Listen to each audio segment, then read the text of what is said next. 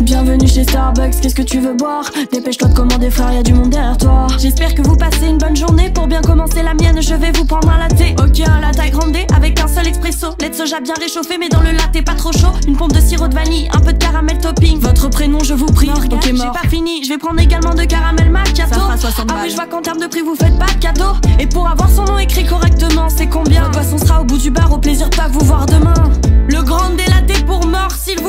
Euh, c'est Morgane. Ah bah non, c'est marqué mort là.